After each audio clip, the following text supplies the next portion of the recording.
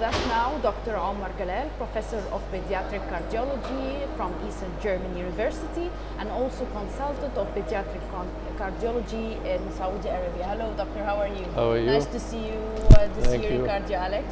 And uh, what do you see? Uh, um, uh, what's your opinion? What do you think about CardioAlex this year? It, uh, like every year, it's a great uh, opportunity for doctors from all over the world and Egyptian doctors to meet. And it grew to an internationally acknowledged uh, meeting over the last 20 years or so. But it's a great job which uh, Dr. Muhammad Subhi uh, really da- da- done until now. And uh, this year the same. I see, but I see always some improvements, some additional issues which are uh, tried out, and I like that about this meet. Okay. Uh, what did you present this year? Uh, this year I presented some topic uh, related to pediatric cardiology and not related, which is a controversial issue. Uh, what to do with young patients when they grow older, young patients with congenital heart disease. Uh, because at this stage in uh, our area, nobody really feels responsible for them. So it's a growing problem. We have to aware that somebody has to take responsibility of the doctors.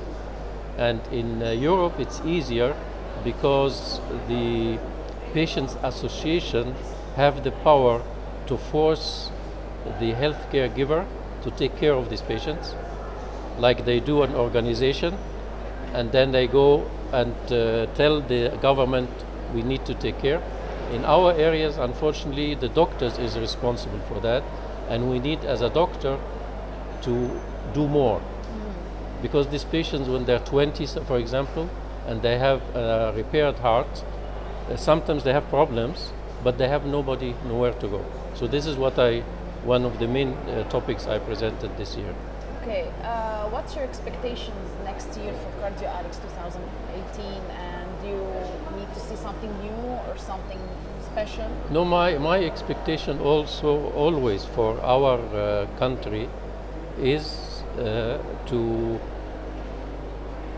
to improve again because we were leading in the area and in internationally 50 years ago and we lost this leadership and in, especially in medicine we need to regain it and this is only possible by uh, focusing on research and uh, happily it's happening.